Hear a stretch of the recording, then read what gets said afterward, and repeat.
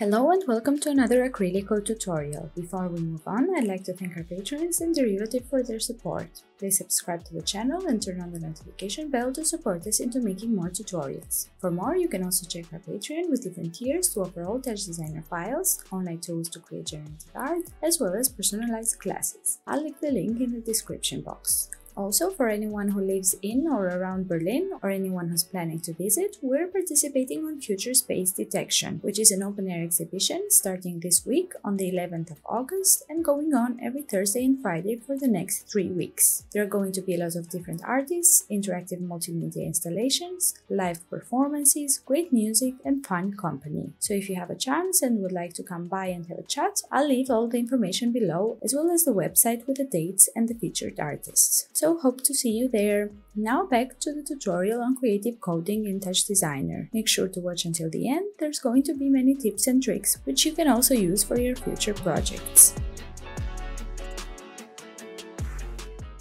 Today we're gonna do some creative coding with Python. We're gonna do this with SOPs. So in order to do this, we're gonna create here a script SOP and I'm gonna split the screen. I'm gonna put this text ports and DATs and I'm gonna drag and drop script callbacks and then we're gonna see this.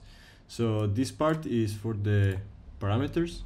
We have here like set of parameters and in the custom we have here these parameters. And here is if we have some parameter that is a pulse and we clicked it this function is gonna get called. And this function is gonna get when parameters are changed or when this is generally cooked so we're gonna work on this function first. So let's first create uh, a function that allows us to uh, draw a line. In order to do this, we're gonna say def line. Then this is gonna need the SOP. It's gonna need x1, y1, x2, and y2. Great. So now we need to, uh, to append a polygon. So I'm gonna call it poly and this is gonna be a SOP dot append poly and this has a parameter the numbers of, of points. So we're gonna put two points but you can put more. And it also needs the parameters add points. And it's gonna set to true because we want to add the points and closed. And we're gonna set it to false because a line is not closed Okay, so now this poly is a polygon object and this has two points. So actually you can treat this as an array of points.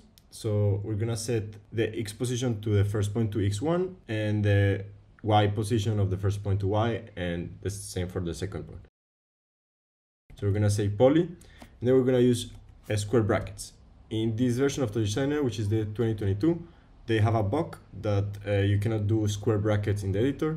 So I actually just go here and then create my square brackets. Or maybe this is only a problem on Mac, but I, I wasn't able to do these square brackets on the editor. So if you have the same problem, just for you to know. So I just cut this and paste it here. So, and then I do poly zero dot point.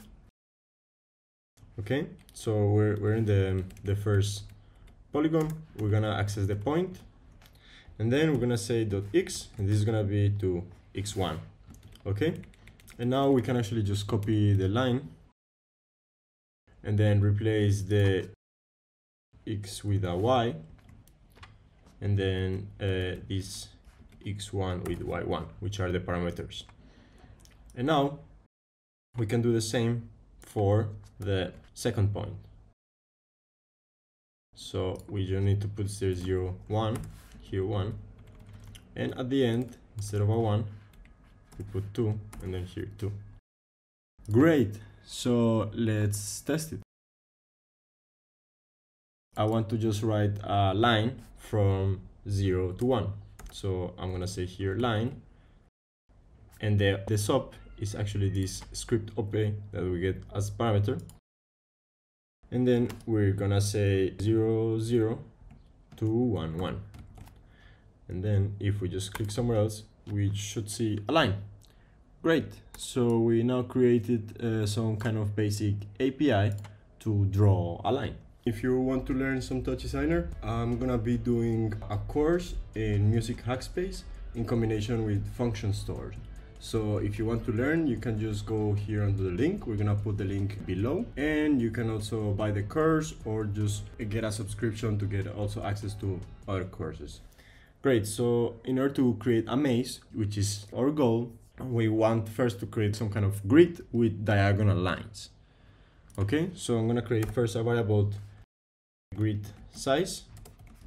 I'm gonna go with 25 and line length and I'm gonna go with 0.5 okay then we want to create first the, the grid of lines so in order to do this we need a nested for loop for the x and the y. So for x in range. And we're gonna go because we want the grid and the 0 0 so we want to go from minus the grid size until the grid size. So minus grid size and comma grid size. And then we're gonna do just the same. Actually you can just copy this line. And then we can just copy paste it and then change the x with a y great and now if we just first draw a line and instead of putting 0 0 we're gonna put x and y and then x and y. So what was gonna happen here is gonna create just a grid of points because the line is creating the first point, the second point are the same.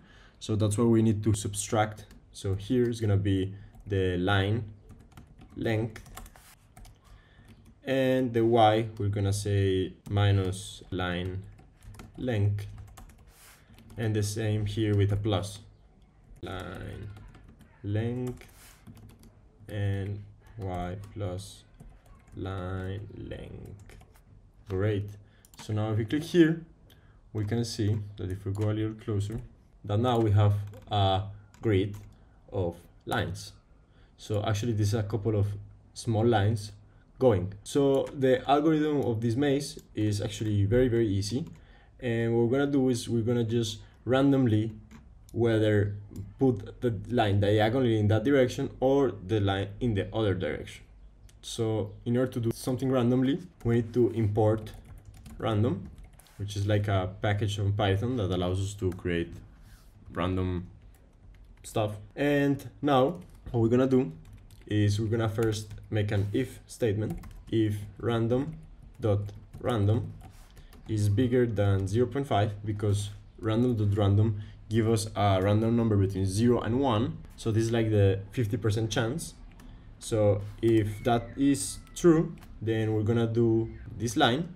Else that means that if that's not true then we're gonna do the line but in the other direction. So I'm just gonna copy this expression. And here instead of here doing y minus line length I'm gonna go with y plus line length and the same here. Instead of doing plus here I'm gonna do minus. So I'm just flipping it.